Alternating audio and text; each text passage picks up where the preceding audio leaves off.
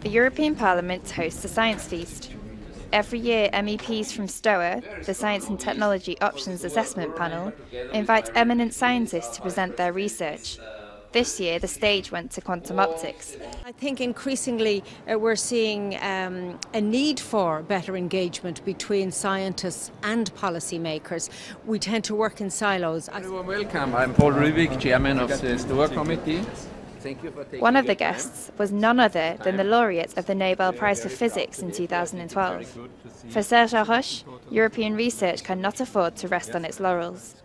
L'Europe joue, a joué un rôle historique et continue à jouer un rôle essentiel euh, dans ce domaine, ce domaine de la recherche, de l'innovation et de la créativité.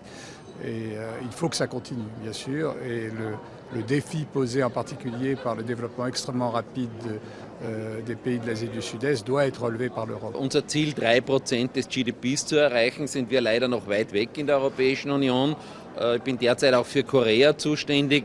Südkorea gibt 4% aus und hat damit das weltweit größte Wirtschaftswachstum erreicht. MEPs would like to see the budget allocated to research doubled, but this desire may be hampered by EU budgetary restrictions.